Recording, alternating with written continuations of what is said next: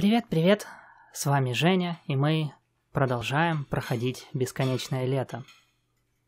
Э, в прошлый раз мы увидели, как жизнь Семена разделилась на две половины, до и после. Ну, вернее, она уже один раз разделилась, когда он прибыл в лагерь, но теперь она еще раз разделилась, э, когда его поцеловала Ульяна, так что теперь получается, что его жизнь разделилась на три половины. Ну, то есть не, не на половины, ну, то, то есть на четыре. Нет, под, подождите, нет, три, сперва до один, потом... Короче, а, в общем, а, под впечатлением от произошедшего Семен начал использовать всех, э, кто попался ему под руку для психологической консультации. А потом э, электроник э, зачем-то вручил ему ключ. Видимо, ну, я не стану пока строить догадок. Мы, возможно, сейчас узнаем, зачем ему это понадобилось. Так что продолжим. И Семен зашел в столовую, Э, и, к счастью, она была открыта, но еду еще не давали. Я сел в дальний угол на свое любимое место и принялся сосредоточенно крутить в руке зубочистку, не отвлекаясь ни на что. Вскоре появилось ощущение, что кто-то стоит рядом со мной. Я поднял глаза и увидел Ольгу Дмитриевну. Некоторое время мы просто смотрели друг на друга. И в глазах Ольги Дмитриевны читалось какое-то новое, неведомое Семену чувство. Да? Вам что-то нужно? Наконец начал я разговор. Знаешь, Семен, я все, конечно, понимаю, но... Что? Удивленно спросил я. Думаешь, не знаю, что ты вчера ночью куда-то ходил? Ходил это громко сказано. Так вышел на минутку. Ну так что? А что такого? Вы ревнуете, Ольга Дмитриевна? Я сначала тоже думала, что ничего, но все же решила выяснить. Божатая все больше и больше хмурилась. Выяснили? Я так и не мог понять, к чему она клонит. Ну, Семен, я уже тебе намекал. Выяснила. И знаешь что? Для настоящего пионера это... это... это просто неприемлемо, позорно, постыдно. Но еще с ней... Она аж покраснела от натуги. Даже не хочу слушать твои оправдания. Кажется, я начал смутно догадываться, о чем она говорит. Э, так, что случилось-то, вы мне объясните. Тебе еще хватает наглости! Ты! Э, с Ульяной! Теперь все стало кристально ясным. Во-первых, я начал заводиться. Ничего такого там не было. А уж я имею отношение ко всей этой ситуации в последнюю очередь. И ты думаешь... Во-вторых, грубо перебил я ее. Кто вам это сказал? Хотя, ответ на этот вопрос был очевиден. Ульянка бы не стала. А если бы даже и решила в очередной раз надо мной прикольнуться, то сделала бы это гораздо раньше. За все время, проведенное здесь, я уже неплохо ее понял. Не слишком ли смелое у тебя заявление, Семен? Значит, остается только один человек, Какая разница? Нет уж, есть разница.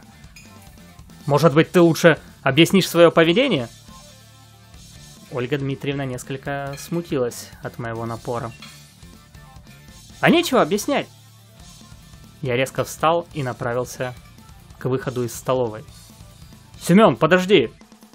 Услышал я вслед робкий лепет вожатой. Все же, если с ней вести себя решительно, то и она не настолько уверена в себе. Ну, Семен, ты начинаешь постигать мастерство общения с женщинами. Итак, предстояло наконец разобраться с Двачевской. Пока ее выходки меня не касались или задевали только косвенно, я терпел. Подумать только, я ведь даже начал считать ее не таким плохим человеком. Э, Прости, Семен, когда это было? Я что-то пропустил? Ты с ней не пересекался почти. Последний раз, когда вы пересекались, она пыталась опять оговорить тебя перед Ольгой Дмитриевной, что ты приставал к ней в ее домике.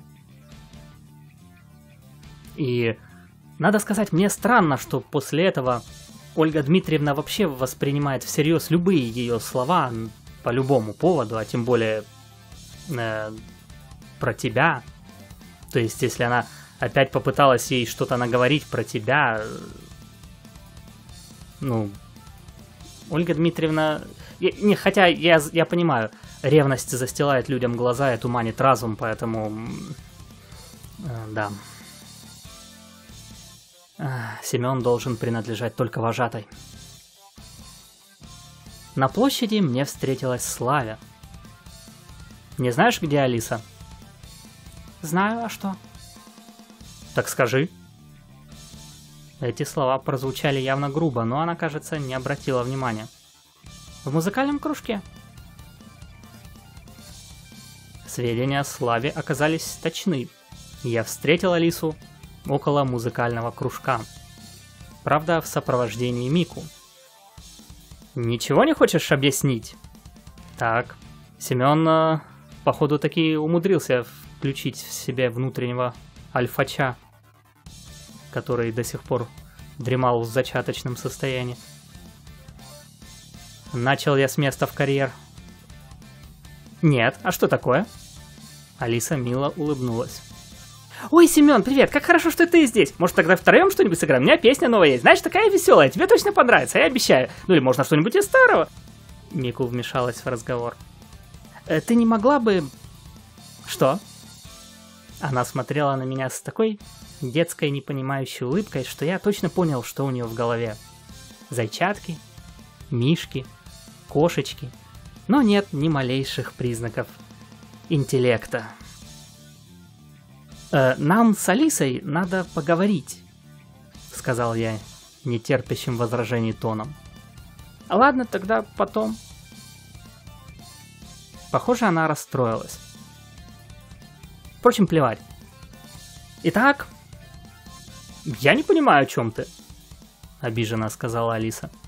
И вообще, мне пора. Она развернулась и собралась уходить. Э, грубо схватить, попытаться остановить словами. Эм, Семен, ну, не надо слишком расходиться для начала. Это новое для тебя поведение, ты еще не привык. Можешь эм, перестараться. Давай, для начала попробуем словесно.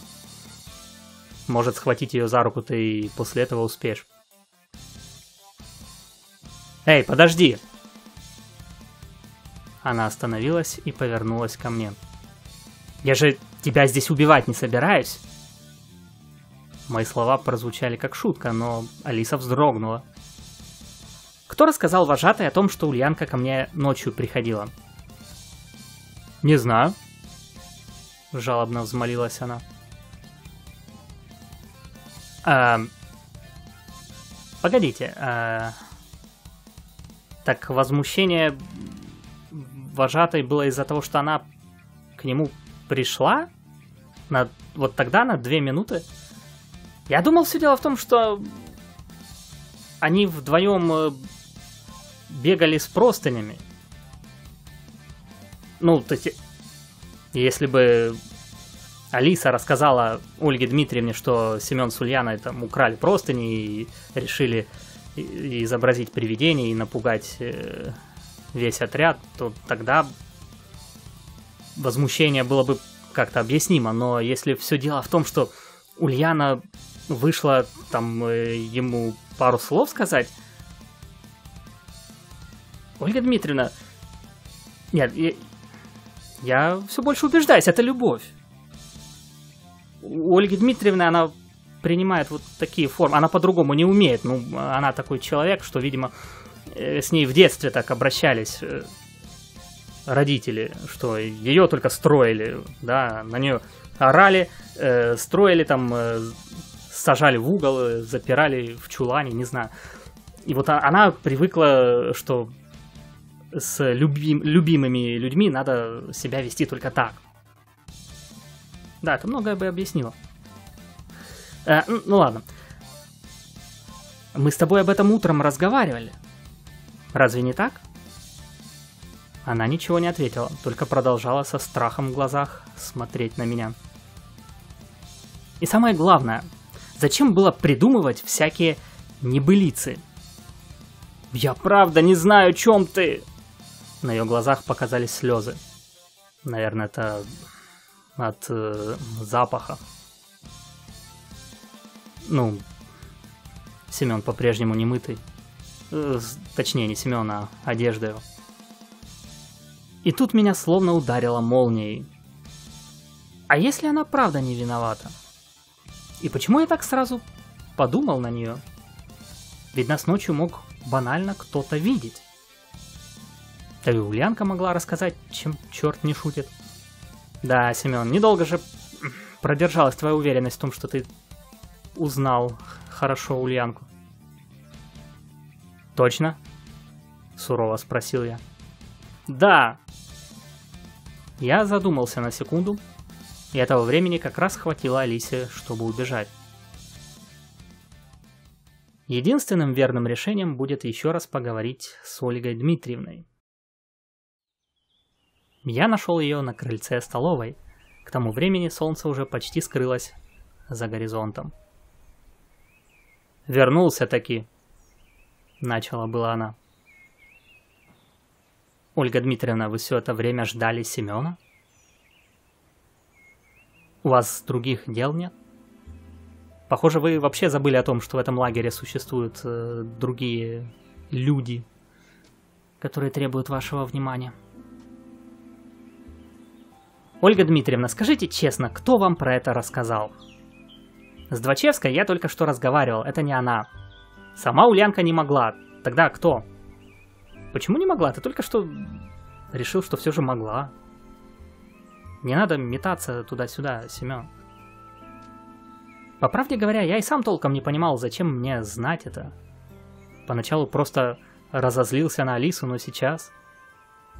Да, если раньше Семена волновали вопросы, э, что это за место, как он сюда попал, да, откуда взялся весь этот лагерь, то теперь э, поиски ответов, видимо, свелись к,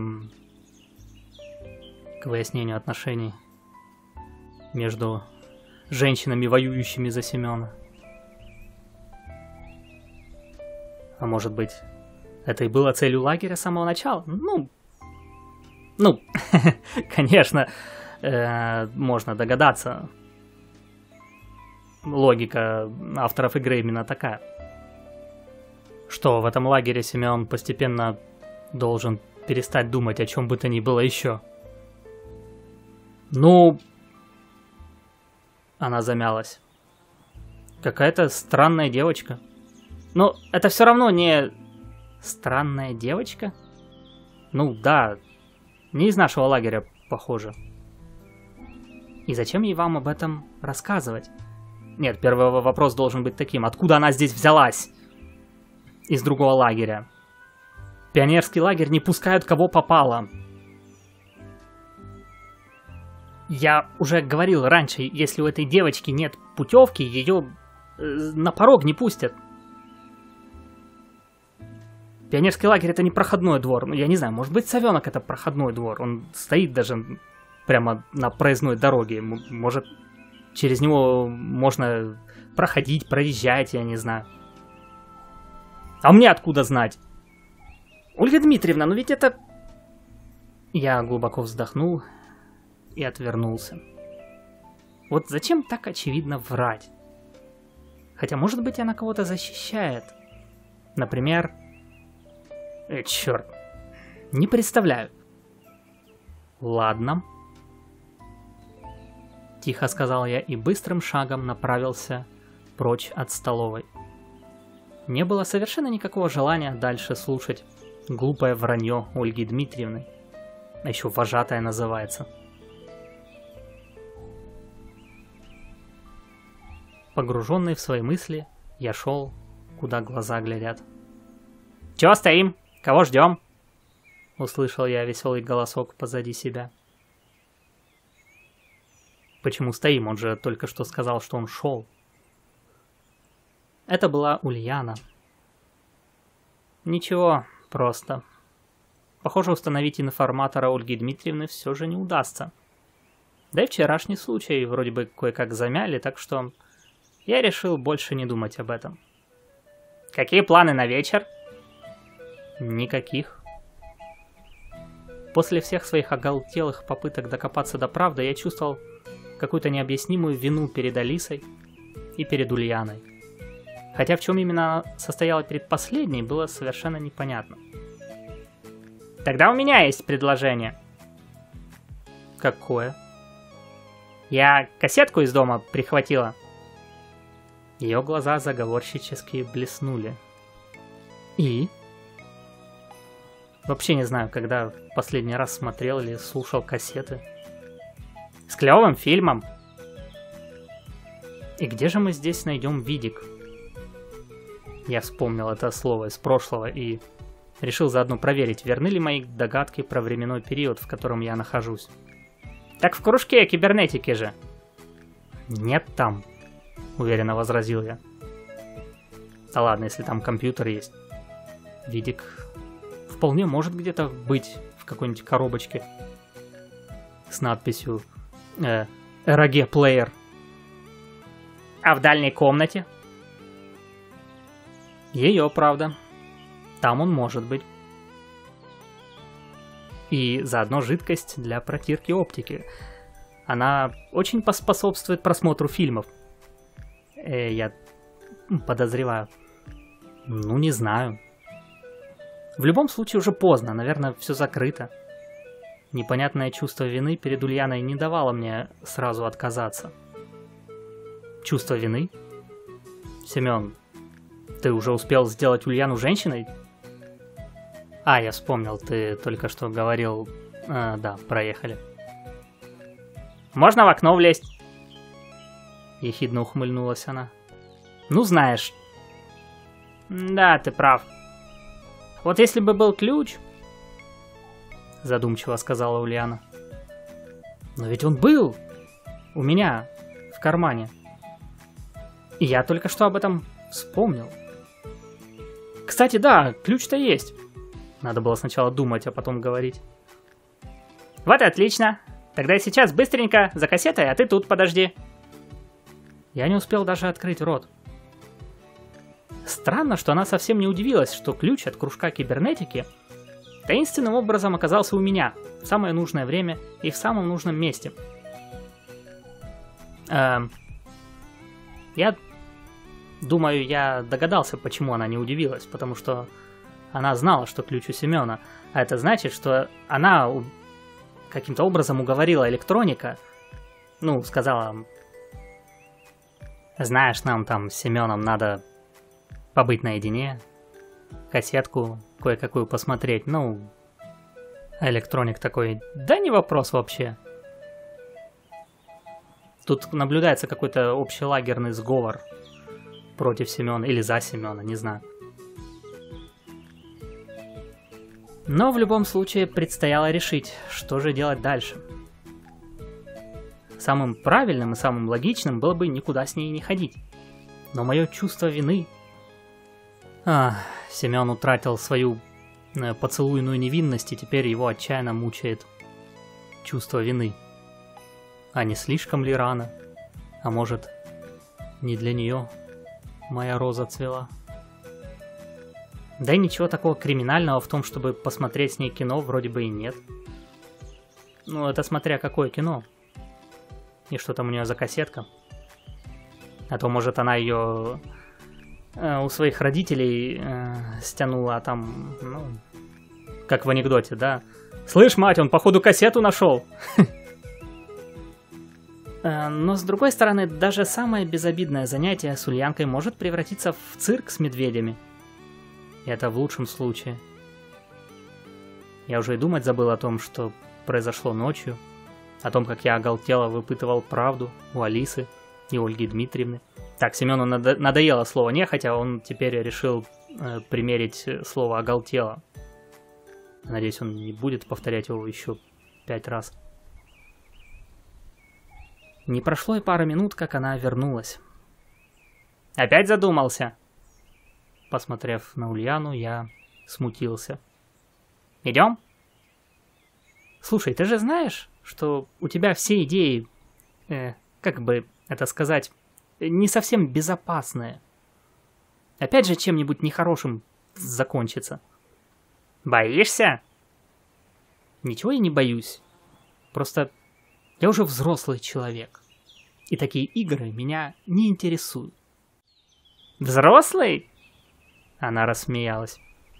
Действительно, я забыл, что выгляжу лет на 17. «И в чем это проявляется?» Как не тяжело это признавать, но сказать-то мне по сути и нечего. Да, Семен, ты не только выглядишь э, лет на 17, в этом страшная правда. Ведь за все время здесь я не проявлял ни особой рассудительности, ни жизненного опыта, ни холодной, взвешенной оценки ситуации. Другой вопрос, проявлял ли я их когда-нибудь в той жизни? И ведь даже если задуматься... Какие-то примеры я, конечно, вспомню, но... Семен, не задумывайся слишком долго, а то ты уже как-то говорил, что иные мысли тебе приходилось рожать годами. Ладно, пошли. Эти слова Улянки настолько задели меня, что я спросил, а кто такой, по-твоему, взрослый человек? Тот, кто умеет отвечать за свои поступки. Тот, кто не делает чего-то, не задумываясь о последствиях. Человек, способный взять на себя ответственность не только за себя, но и за других. Э, наверняка она где-то это прочитала. Или кто-то ей это рассказал потому что ей самой вряд ли пришло бы все это в голову. Ты-то тогда точно под свое описание не подходишь. Попытался отшутиться я. Я и не претендую, ухмыльнулась Ульяна. Да, она была совершенно права. Подобными качествами я не обладал.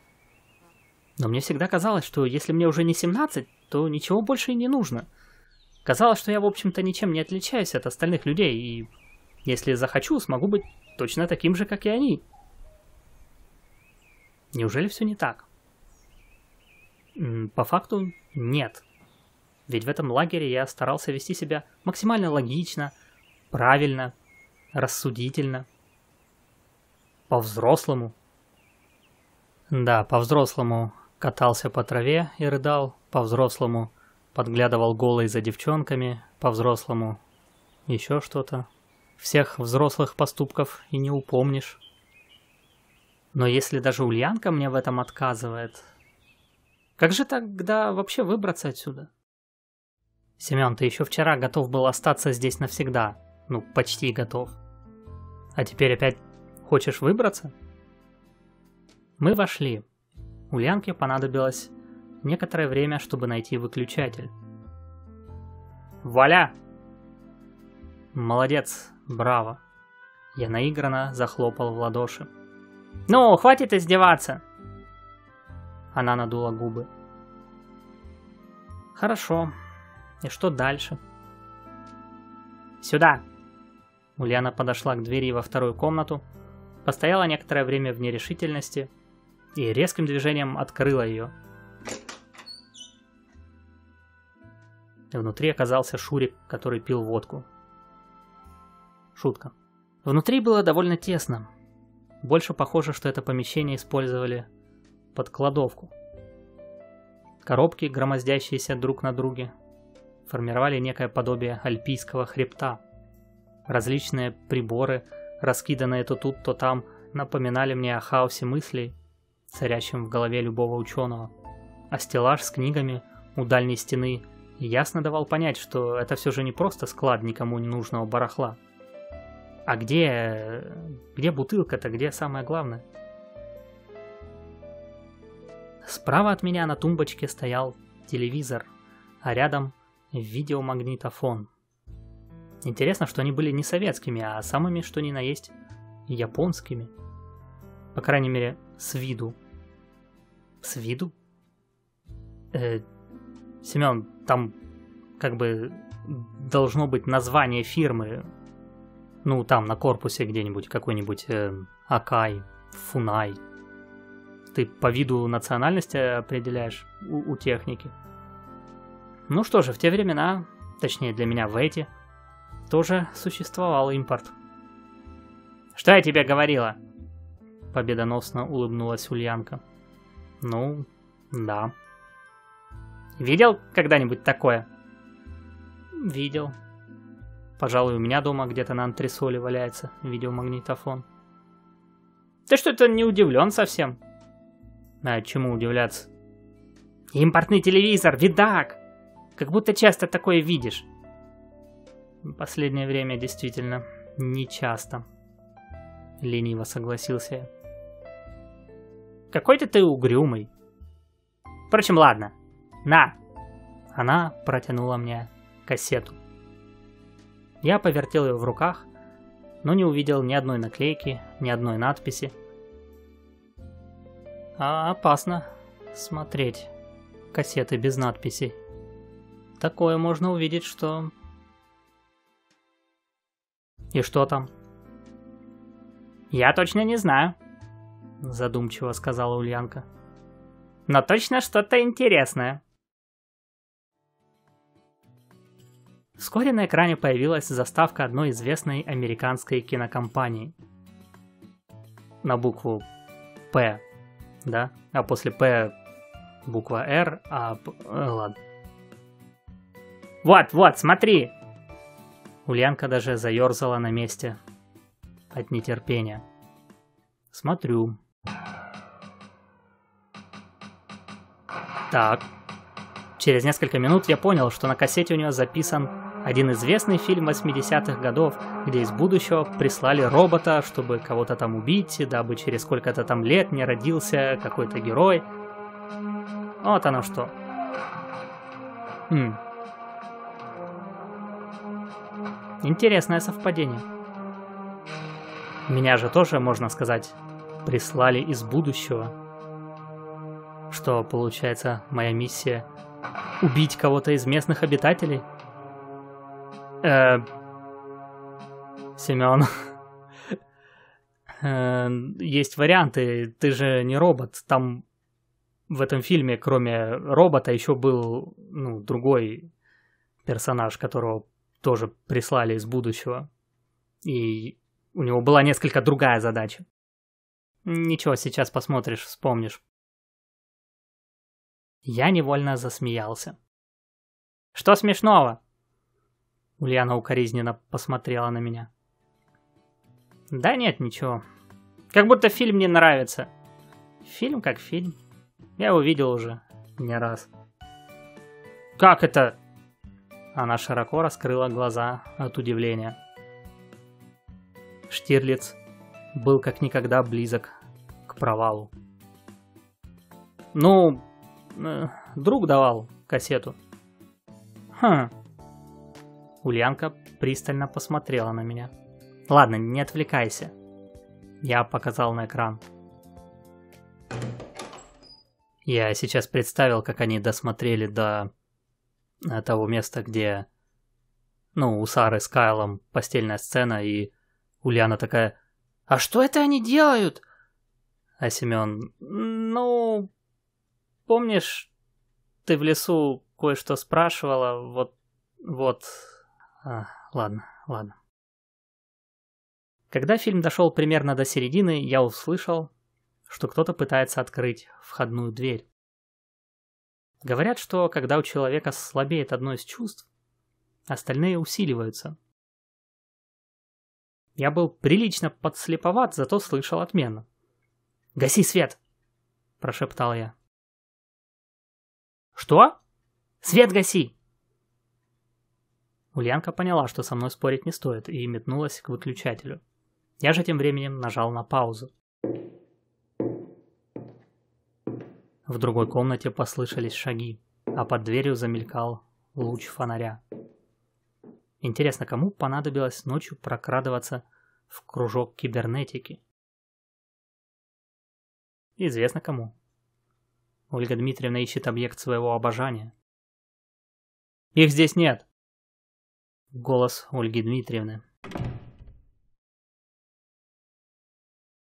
Вот так Ольга Дмитриевна обыскивает помещение. Да. Вскоре входная дверь захлопнулась, и я с облегчением вздохнул. «Видишь? Это опять все из-за тебя!» «Что?» Ульянка удивленно посмотрела на меня. «Ну а зачем она сюда ночью приходила? Наверняка нас искала». «Если Алисе на твое отсутствие, скорее всего, наплевать, то я-то прописан в домике у вожатой». Она задумалась. «Ну и что такого?» «Что такого? Почему ты постоянно впутываешься в неприятности? Тебе как будто это нравится». «Так веселее же!» «Веселее, когда тебя постоянно ругают и наказывают?» Кто не рискует, тот не пьет шампанское. Она весело расхохоталась. Так вы и так не пьете. Кстати, надо найти, Семен, найди э, бутылку. Раз уж ты рискуешь, ты должен пить. Ну, не шампанское, так что-нибудь другое. Сразу развеселишься. Есть же какие-то нормы, в конце концов. Ладно, пока у тебя все без последствий обходилось, но кто знает, что дальше будет. Можно же и доиграться. Ты брюзжишь, как старый дед, обиженно сказала она. А кто недавно говорил, что меня нельзя назвать взрослым? Семен, старость это не признак взрослости. Ну, зрелости, скажем так. Не ко всем она с возрастом приходит. Ладно, проехали, давай фильм дальше смотреть. Я не стал с ней спорить. В конце концов, мы уже на счетчике Ольги Дмитриевны и часом позже, часом раньше особого значения не имеет. На каждом напряженном эпизоде Ульянка вскакивала, визжала и хватала меня за руку. Я же не был настолько увлечен фильмом, но все же делал вид, что мне тоже интересно. Кроме злого робота, из будущего прислали также и доброго человека, чтобы помешать ему. Может быть, я как раз здесь не с целью стать беспощадной машиной-убийцей, а с целью, наоборот, что-то предотвратить, изменить. А, Семен, у тебя с Кайлом э, ровно одно сходство. Он, как и ты, был девственником. Но в его случае, в отличие от тебя, это было не позорно. Помешать свершиться какому-то событию, например, или удержать кого-то от неправильного поступка. Как ни посмотри, аналогия интересная однако никакой фактической почвы под собой не имеющая. У меня в руках нет дробовика, я не закован в кожу, не разъезжаю на мотоцикле. Подожди, таки Кайл не был закован в кожу и не разъезжал на мотоцикле. Это у Терминатора была кожа и мотоцикл. У тебя в голове все перепуталось. Это все у Терминатора было. А ты, как и положено, Кайлу в совершенно вонючих шмотках, которые тот достал с первого попавшегося бомжа. Так что в этом, в этом вы э, с ним как раз совпадаете. Да что там, у меня даже темных очков нет. Зачем тебе они? Не путай себя со... Кто Семену писал этот внутренний монолог? Пусть бы пересмотрел фильмы внимательно.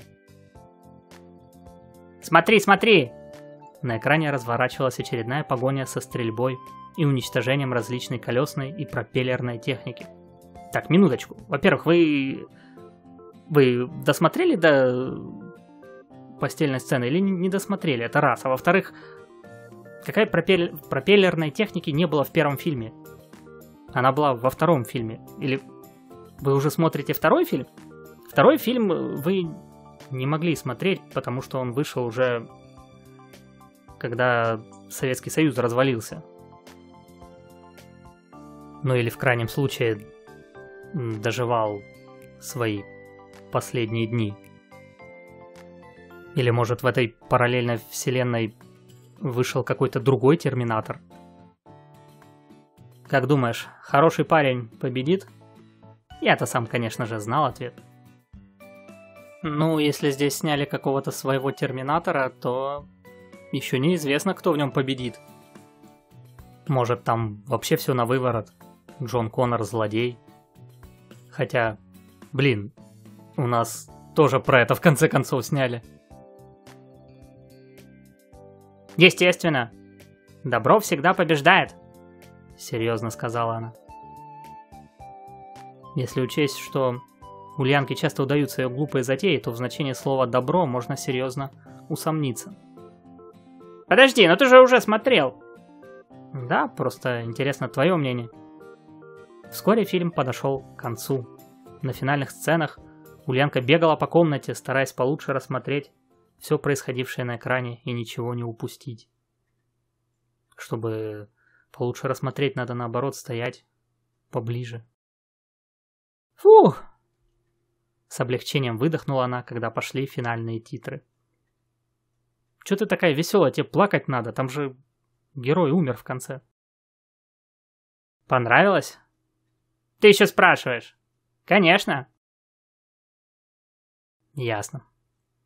А тебе, я погляжу, не очень. Она лукаво прищурилась. Ну, это больше для детей все же. Да ладно. Не, я понимаю, э, в свое время у нас этот фильм, э, конечно, смотрели, невзирая на возраст, но так или иначе возрастной рейтинг там такой не слабенький. Да? Ну, да. А что? Э, ничего. Она зевнула и села на пол, прислонившись спиной к груди коробок. Пора спать идти, наверное. Я устала, никуда не пойду. Как хочешь. А я, пожалуй, пойду. Эй, подожди! Ульянка моментально подскочила ко мне и схватила за руку. Оставишь меня тут одну? Ну, хочешь, отнесу в домик. Неуверенно сказал я.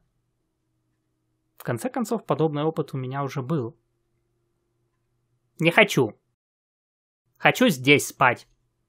Она порылась в рядом стоящей коробке и извлекла оттуда некое подобие одеяла и подушки.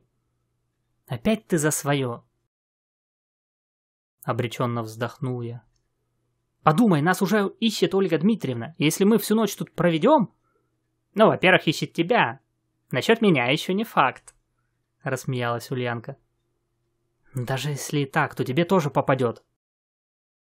Раньше я бы удивился мысли, что Ольга Дмитриевна может совершенно не думать о других пионерах, кроме Семена, но теперь, да, мне это представляется правдоподобным. А куда музыка подевалась, я не понял. С чего ты это взял? А даже если так, то ничего страшного, мне не привыкать. Да что ты уперлась-то? До твоего домика идти метров сто-двести. К тому же по Ульяне нельзя было сказать, что она валилась с ног. Я устала. Она закуталась в одеяло, отвернулась от меня и начала усердно изображать богатырский храп. Ладно, до завтра тогда. Я попытался уйти, но Ульянка вновь схватила меня за руку. Да что ты так уперлась-то? Она ничего не ответила. Кажется, я ее напугал. В тот момент было совершенно непонятно, что делать. Затея с кассетой изначально идиотизм, но теперь это уже за гранью моего понимания. Я совершенно не представлял, в чем логика ее поступков, какой в них смысл, мотивация. Однако, несмотря на все это, я не мог решительно сказать «нет». Семен, что тут думать? Ну, Хорошо, я, я могу, могу э, э, догадаться, ну, э, сообразить. Значит, по всей видимости, раз Ульяна так настойчиво пытается с тобой вместе заснуть, э, в ее представлении э, она ходит с тобой на свидание. Ну, то есть, ей кто-то когда- когда-то сказал, ну, тогда не было интернета, не было коллективной мудрости, что-то обрывками она у кого-то там узнала как-то, что свидание — это когда люди вместе там гуляют или э, ходят э, см- смотреть кино или просто гулять, э, ну или как-то развлекаться, а потом они идут вместе спать. Вот это, в ее понимании, это свидание. И она э, вот хочет, ну, э, как, на, как поняла, с тобой ходить на свидание. Поэтому в конце она хочет с тобой спать. Она еще не знает, что там есть некоторые э, нюансы в этом деле. Скажем так. Она думает, что спать это значит просто спать. Потом ее спросят, э, там, что ты делала, она без задней мысли скажет, я спала с Семеном. Так что... Эх, ладно. Мы, э, пожалуй, слишком э, задержались. Давайте узнаем в следующий раз, как э, поступит Семен и что их ждет на утро. Застукают их наконец или, может быть, они опять успеют э, раньше сбежать. Ну, в общем, посмотрим. А пока, как обычно. Если вам понравилось, подписывайтесь на канал, ставьте лайки, комментируйте и до новых встреч. Пока-пока.